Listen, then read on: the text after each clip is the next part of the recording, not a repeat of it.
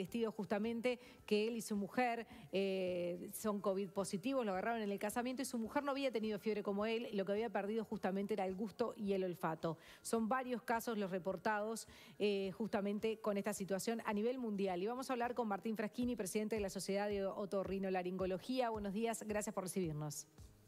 ¿Cómo andan? Buenos días. Este, bueno, muchas gracias por, por, este, invitarnos. Eh, Bienvenido. para, hablar de estos síntomas, ¿no? Que son novedosos, nuevos, pero que, que en realidad ya hace varias semanas que están reportados a nivel internacional. Claro. Martín, eh, muchos que de repente están en la casa, que bueno, que llaman y las aplicaciones y las llamadas que hay justamente para las consultas, se quedaban solo con eso, con tener fiebre o la garganta, eh, también quizás los médicos, pero ahora lo que ustedes están advirtiendo justamente es que se le hagan estas preguntas, a ver cómo, cómo tienen el gusto y el olfato. A ver, este es un tema que, que la Sociedad Uruguaya de Otorrino y Laringología ha venido trabajando hace dos semanas ya hemos emitido varios comunicados, y es que la producción científica a nivel, a nivel internacional y nacional crece en forma exponencial como, como en algunos lugares el virus. Este, se, se, propaga el virus. Y de esa, de esa producción internacional de información existieron varios reportes y ahora trabajos multicéntricos. Voy a citar uno eh, en Europa Central con 12 países, 12 centros diferentes donde hay tres datos muy interesantes. De una muestra de 400, de más de 400 pacientes, casi la misma cantidad de infectados acá en Uruguay con, con la enfermedad, este, el, más del 80%, o sea, 8 de cada 10 pacientes tenían en el transcurso de su enfermedad en algún momento la pérdida parcial o total en forma bruca del gusto y del olfato. Dos datos importantes también, que dos de esos, dos de cada 10, o sea, el 20% de la muestra, debutó con estos síntomas. O sea, los primeros síntomas que tuvieron fueron pérdida del olfato y el gusto. Y dos de cada diez, dos de cada diez fue el único síntoma que tuvieron. Entonces, eso nos, llama a, nos llamó a la, a la sociedad a constituir un, un, comité con colegas que se dedican a, específicamente al olfato acá en el Uruguay y a empezar a estudiar y ver la pertinencia de colocarlos dentro de los protocolos de actuación, protocolos como tú bien dijiste, cuando el médico ve a los pacientes en la emergencia, cuando nuestros colegas atienden a los pacientes en, las, en los domicilios a través de las emergencias móviles o, las, las, unidades de auto, de autito de radio con los colegas, a través de las consultas telefónicas, a través de las diferentes este, plataformas virtuales, incluir a la pérdida del olfato, incluir a la pérdida del gusto como, uno, uno, como otros dos síntomas más de presentación y que detenerlos, la recomendación nuestra que ayer le hicimos a las autoridades es que sean este, considerados como sospechosos y deberían testearse para la enfermedad por COVID-19. ¿Y qué respuesta obtuvieron? Como que, además, de, además de hablar de estos temas, ¿no? Doble pregunta, ¿qué respuesta obtuvieron de eso y qué otros este, componentes tuvo el diálogo con las autoridades de, parte de ustedes? Primero que nada, bien. Primero que el diálogo fue, muy, fue formidable, fue con, el ministro, que nos recibió en su despacho, en conjunto también con, con este, el director general de salud, el doctor Asqueta. Eh, estuvimos intercambiando todas estas cuestiones, estuvimos viendo los diferentes protocolos, estuvimos viendo los nuestros, los que estamos proponiendo nosotros. Estuvimos viendo también... ¿Qué propusieron? Este, ¿Qué planteos de realizar? Justamente, incluir, propusimos dos cosas, dos objetivos. El primero era incluir estos síntomas dentro de los protocolos que se van a, a confeccionar en estos días, por lo que estamos viendo en estas horas. Este, y el segundo punto era generar una línea de investigación longitudinal para estudiar los pacientes que ya fueron diagnosticados, como por ejemplo el caso de la señora del doctor, este, señor Lestido, que, debería, debería, deberíamos preguntarle a ella cómo fue que perdió el olfato, en qué transcurso de la enfermedad, si de inicio o no, acompañado de otros síntomas, y hacer un estudio longitudinal también prospectivo para adelante, para ver aquellos pacientes nuevos que se van diagnosticando si han tenido alguna alteración del olfato, para cambiar o no los protocolos a futuro. Así es como avanza la medicina y la ciencia, ¿no? Trabajando, mirándose atrás y mirándose adelante. Esas fueron las dos cosas que propusimos este, ayer en la reunión, que fue una reunión muy buena, muy receptiva, este, que tuvimos la sociedad con ellos, ¿no? Claro.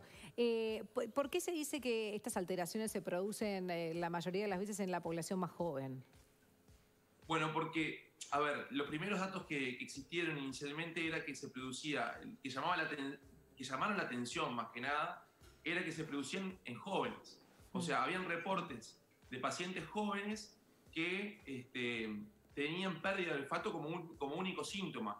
Y si ustedes recuerdan que al inicio de, de la pandemia siempre se identificaban a personas mayores de 45 años, 40 años, como que eran los que, lo que, que podían tener la enfermedad. Y no se identificaban pacientes entre 25 y 45 como que la podían tener o la podían manifestar. Y lo que, y lo que se consideraba en su momento era que muchos de estos pacientes que sufrían solamente un trastorno del, del olfato del gusto se los consideraba como asintomáticos, en realidad estaban, estaban contagiando y contaminando a otros, a otros pacientes y otras áreas. Entonces, eso llamó la atención y por eso se, hizo, se hicieron reportes y se llamó la atención que se podía dar en pacientes jóvenes. Y la inclusión nuestra es que sea un corte mayor de 14, 15 años para, para, para estudiar longitudinalmente estos pacientes, ¿no? Bien. Ahora, parece un instrumento eh, importante para justamente detectar a los pacientes asintomáticos que eh, son los que terminan propagando la, enfermedad sin que nadie se dé cuenta, ¿no? Y, estamos teniendo un problema de...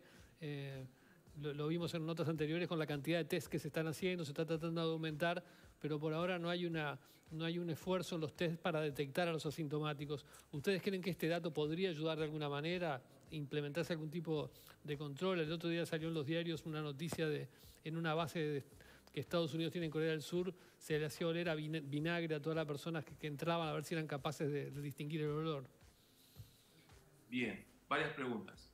Eh, la, primera, cuanto, primero que nada, si uno, si uno toma el espectro, esto es algo que excede a, mi especialidad, pero, pero, está la medicina, así que me, siento con derecho a decirlo. Acá hay pacientes, ya sabemos que los, ah, del 100% de los pacientes que tienen el virus va a haber un, porcentaje asintomáticos y otro porcentaje, porcentaje que, que, tienen síntomas.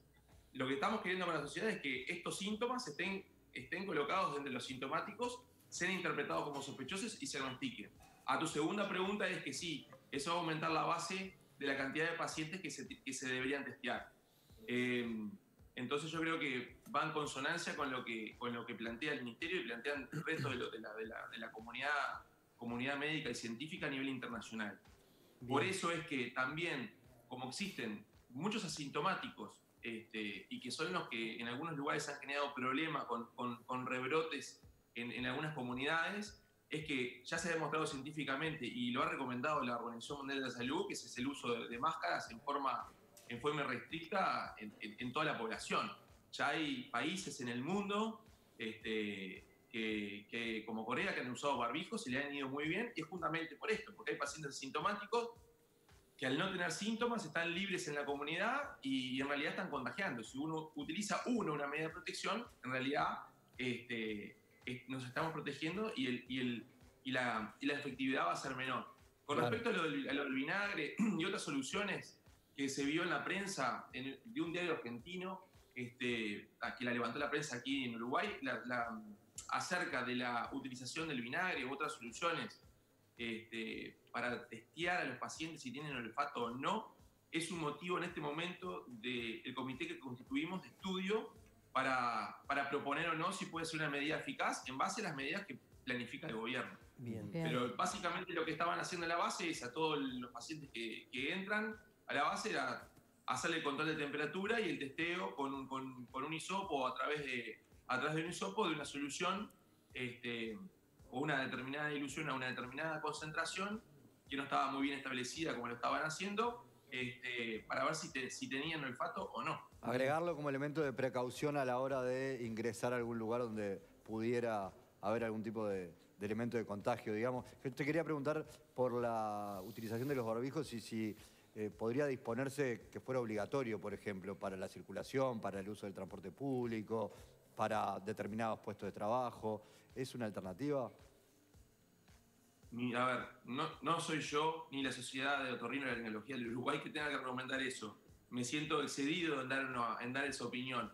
Yo creo que lo que, sí te puedo, lo que sí te puedo sugerir en forma indirecta es que, lo que dije anteriormente, si hay pacientes asintomáticos que, que, están, que están en la comunidad o que pueden estar en la comunidad y pueden estar contagiando y compartiendo contigo un ómnibus, compartiendo contigo un área este, y te puede contagiar, creo que como no, como no podemos identificarlos porque no tienen síntomas en este momento, eh, yo creo que si uno se protege uno, eh, va a estar protegido. Entonces, si hay un problema mm, de salud y hay un problema en la comunidad y hay un, una índice tasa de efectividad y la, curva se dispara y, y, tenemos, y tenemos un problema como, como en otros países que, ya lo vemos, en el viejo continente y, en América del Norte, yo pienso que sería una medida importante a tomar. Por lo menos que la gente tome conciencia, que para eso creo que estamos ustedes de ese lado y yo de este, este tratando de comunicar que tomen conciencia que, que, un barbijo este, bien utilizado si bien no, puede llegar a controlar el 100% del traspaso del virus, va a controlar gran parte de, gran parte de todo esto y, va, y en forma de prevención el paciente se va a cuidar muchísimo más, o la persona se va a cuidar muchísimo más y seguramente la circulación del virus va a ser menor. Claro. Claro. En estas semanas también mucha gente atraviesa este, el característico cambio de temperatura que puede ser como esa gripe estacional y también hay mucha gente con alergia precisamente por este cambio de temperatura. ¿Ustedes qué recomiendan en estas situaciones? A ver, eso va a ser un problema. Va a ser un problema, va a ser un problema para las autoridades sanitarias de Uruguay. Eh, el aumento de la prevalencia de otros procesos infecciosos en las vías aéreas respiratorias superiores e inferiores que seguramente se van a, se van a, solapar con, con, esto o se van a confundir con esto. Yo creo que las medidas en cuanto a la consideración de los sospechosos no, no debería cambiar, incluir los síntomas igual de la pérdida del olfato y la, y la pérdida del gusto, con o sin obstrucción nasal, con o sin mocos en la nariz, vamos a tener considerados igual como sospechosos y la recomendación es que igual los Este, va, a ser un, va a ser un problema porque evidentemente cuando cambia el clima, no solamente vinculado a los procesos, este, vinculados a los procesos alérgicos, este, sino hay, hay, otros, hay otros procesos infecciosos que no son por, por, este virus, son por otros, este, que evidentemente van a, generar, van a generar síntomas similares y bueno, los tendremos que considerar y los tendremos que testear igual. Porque ahí el tema, el tema del testeo es para aislar al paciente, para proteger que el paciente no contagie y para tomar medidas frente a complicaciones de ellos en forma incipiente y rápida para que puedan ser controladas y el paciente no, no tenga una complicación mayor que la lleve a la muerte. Claro. Martín, hay una página, ¿no?, para ingresar los datos para aquellos que sufran la pérdida de olfato y gusto. Sí, a ver, nosotros tenemos una, una página web que es www.sorlu.org.ui en esa página hay un cuestionario, que es un cuestionario que, los pacientes con diagnóstico sospechosos o con diagnóstico positivo pueden, pueden ir colocando su información. están protegidos sus datos este, ahí, en los que se colocan. Esta, esta información se la, la, sociedad se la, se la, ofreció al, ministerio que la, que la tomó, que seguramente la va a evaluar para tomar como propia, para hacer en conjunto este estudio como dijimos, longitudinal hacia atrás, con ya los diagnosticados y los nuevos que se vayan a diagnosticar. Este, y esa, con esa información adecuaremos, con esa información conoceremos cuál es la prevalencia de estos síntomas este, en el entorno de la, de la, de la enfermedad y, y, en base a eso podremos o no adecuar este, otras pautas nuevas que se puedan sugerir de la sociedad y de la autoridad sanitaria y colaborar con la comunidad científica a nivel internacional para conocer estos síntomas. Yo creo que yo pienso que, y esto es algo personal, ¿eh? no, no, no, lo, hemos discutido entre los colegas, pero yo pienso que hay, dos palabras que, que, nos, que nos redundan en este momento, que es la incertidumbre y otra es la, el ser solidario. Yo pienso que hay que ser solidario y generoso con la, con la comunidad internacional, con nuestros pacientes, con el pueblo, y yo pienso que si somos solidarios con la, con la información que se tiene en cada, en cada país, los cuerpos médicos, quienes investigan, yo pienso que saldremos más rápido de este problema, de esta pandemia a nivel, a nivel internacional, a nivel mundial. Así que este, este cuestionario, eh, esta forma de conectarse con la sociedad, conocer qué es lo que le está pasando a nuestros pacientes, nos va a ayudar en el medio nacional, pero también internacional, a, conocer más la enfermedad y a, cambiar pautas para, para, para, para, seguir mejor en el tema. Claro. Reiteramos entonces, es sorlo.org.uy. Martín Fraschini, muchísimas gracias. Quedamos a las órdenes. Gracias a ustedes y las órdenes como siempre. Hasta luego. 25